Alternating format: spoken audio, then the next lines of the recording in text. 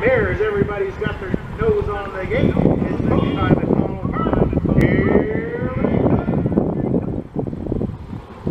There they go.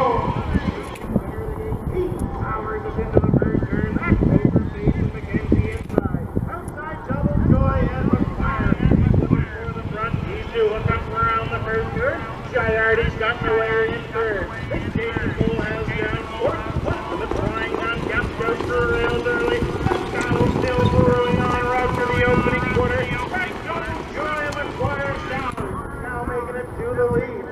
Lindsay finally grabbed leather and let him go. She'll sit second with poker face. Then we got Shiner looking at